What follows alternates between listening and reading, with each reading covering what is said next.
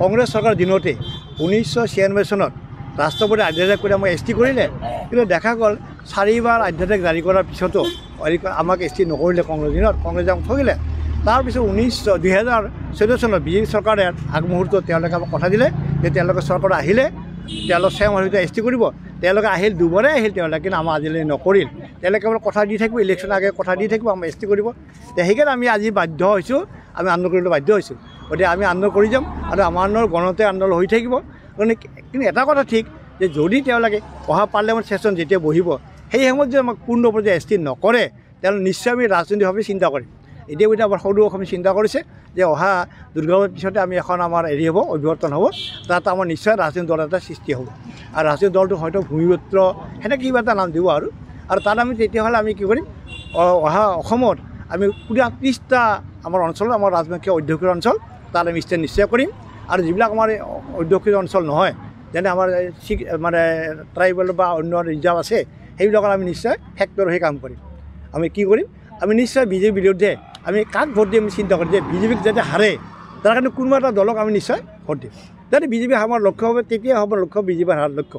আৰু আজিৰ তাৰিখত যদি তেওঁলোকে আমাক কৰে এই পাৰ্লিয়ামেণ্টত অহাৰ আগে আগে তেতিয়াহ'লে নিশ্চয় আমি বিজেপিৰ প্ৰতি আমি আছোঁ। কাৰণ যিয়ে ৰাজা আমি তাৰে প্ৰজা।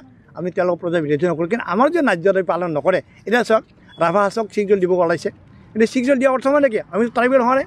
ছিক্স জল ট্ৰাইবেলৰ কাৰণে ট্ৰাইবেল হোৱাৰ লগে লগে আমাৰ ভূমিকা আদি চব অধিকাৰ নোহোৱা হ'ব। যিজন আমাৰ ভিটিয়ে এতিয়া আমাৰ মাটি অধিকাৰ নাই আজি আমাৰ নিজৰ বাপেকৰ মাটি পুতেকে পোৱা নাই নামজাৰি হোৱা নাই। গতিকে সেইটো আমাৰ দাবী আছে যে আমাৰ মাটি আমাৰ ভূমি আমি ইয়াৰ ৰজা আছিলোঁ আমাৰ চিলাৰ নৰনাৰায়ণ ৰাজ্য আছিল। গতিকে আমি আজি ভূমিপুত্ৰ হৈ আমাৰ ৰজাৰ পুত্ৰ হৈ আমি মাটিৰ ভূমিখিনি হ'লে কেনেকৈ হ'ব? গতিকে বিজেপি চৰকাৰে আমাক শেষ কৰিব খুজিছে গতিকে শেষ কৰাৰ আগতে নিশ্চয় আমি ব্যৱস্থা কৰিম যাতে আমি জিকিব পাৰোঁ।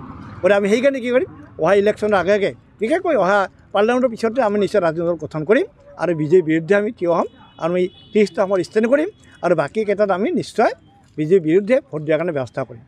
পিছে কাক দিম? সেইটো আজি ক'ব নোৱাৰোঁ। পাৰ্লিয়ামেণ্ট ছেশ্যন হোৱাৰ আগে আমি এছ টি কৰক তেতিয়া আমি নিশ্চয় বিজেপি চৰকাৰ হৈ আছোঁ আমি।